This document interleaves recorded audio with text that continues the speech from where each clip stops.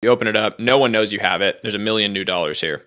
Um, what do you do? You take it and you start spending it. You go and buy really nice clothes. You go buy a house, a bunch of land, all this kind of stuff. And when you do that, uh, the market has not reacted to the fact that there's all this new money there. So you, because you're the one that has it, are able to go benefit from that. You go and buy things at their current market prices. And you go and spend a bunch of money, and your your standard of life has dramatically improved. You're like living lavishly. You have great clothes. You got a watch. You got a house, land, all this stuff.